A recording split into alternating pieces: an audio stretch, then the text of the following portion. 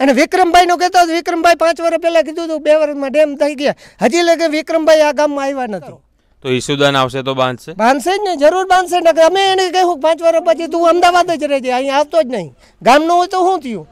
અમે આવી પહોંચ્યા છે પીપળિયા ગામમાં. પીપળિયા ગામ આમ આદમી પાર્ટીનો જે સીએમ ચહેરો છે ઈસુદાન ગઢવી એમનું આ વતન છે. અહીંયા ગામની ભાગોળ પર અમે પહોંચ્યા અને અહીંયા કેટલાક કાકાઓ બેઠા છે. એમની સાથે વાત કરીએ. આ વખતે ચૂંટણીના શું મુદ્દા છે ઈસુદાન એમના ગામના છે એના વિશે પણ વાત કરીશું. શું પરિસ્થિતિ છે ગામની એના વિશે પણ વાત કરીએ આપણે એમની જ સાથે. કેમ છો? મજામાં બધા? શું નામ કાકા?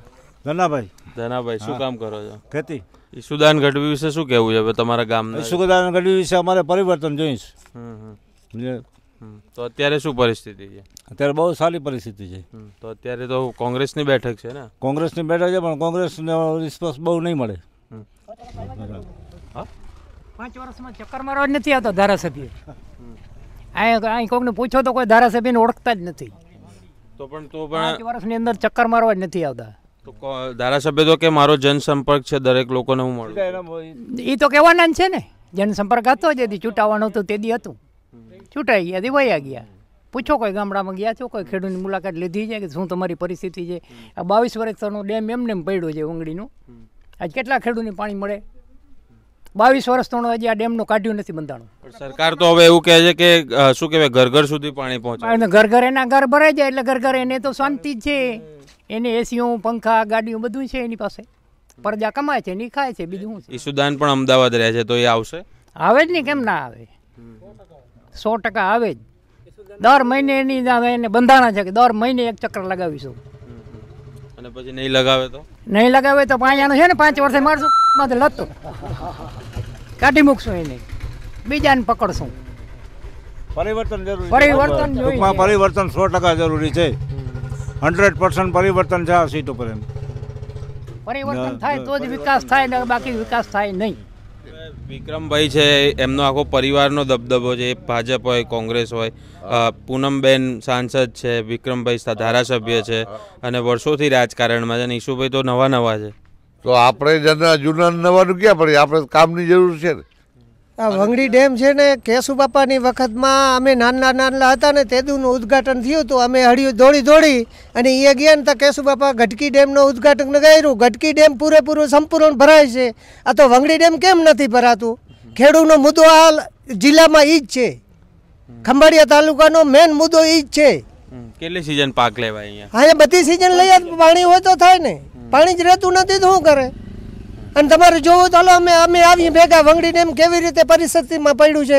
આ ગટકી ડેમમાં પાણી ભરાય લાખો રૂપિયાની ખેડૂત મોસમ લે આ બાજુ ઉત્પાદન કંઈ નથી થતું. અત્યારે તો પાણી ખતમ થઈ ગયા છે. તો હું ખેડૂત કમાઈ લઈએ? પછી કે સરકાર કહે કે ટેકાના ભાવ આપે. ટેકાના ભાવ હોય કોણે લઈએ છે? સરકાર તો એમ કહે છે ટેકાના ભાવની તો જરૂર જ નથી જરૂર નથી. ક્યાંથી હોય જરૂર? જાય એમને ખેડૂને લાખ વગિયાની ટેકાની માંડવી લે છે અમારા જેવા આમ આદમીની કોઈ લેતા જ નથી.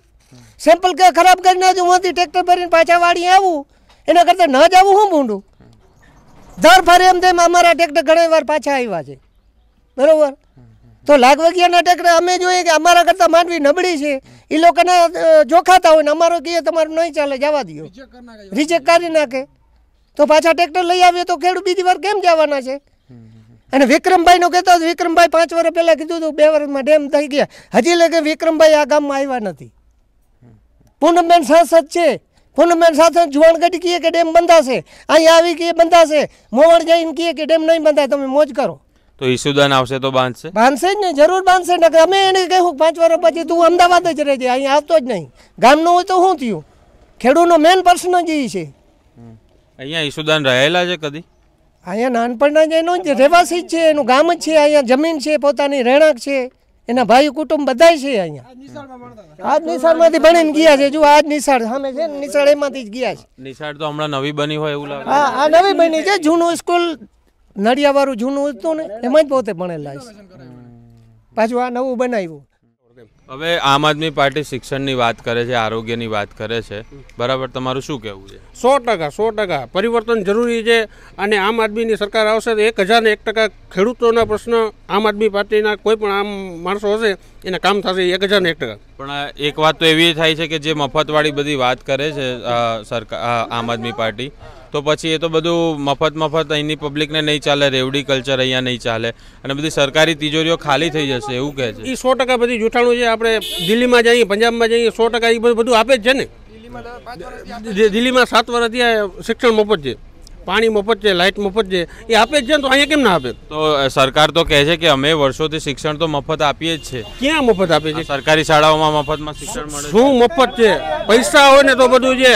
અહીંયા ઠાકર શેરડી આપણે બાજુમાં ગામ છે અહીંયા પ્રાઇવેટ સ્કૂલ છે અહીંયા અહીંયા સંખ્યા જોઈએ. અને આજે સરકારી શાળામાં તમે સંખ્યા જુઓ. આજે અહીંયા આઠ ધોરણ સ્કૂલ છે. સંખ્યા ખાલી તમે તમે જઈ અને જોઈ આવો. એમાં કેટલો તફાવત છે એ ખાલી જુઓ તમે.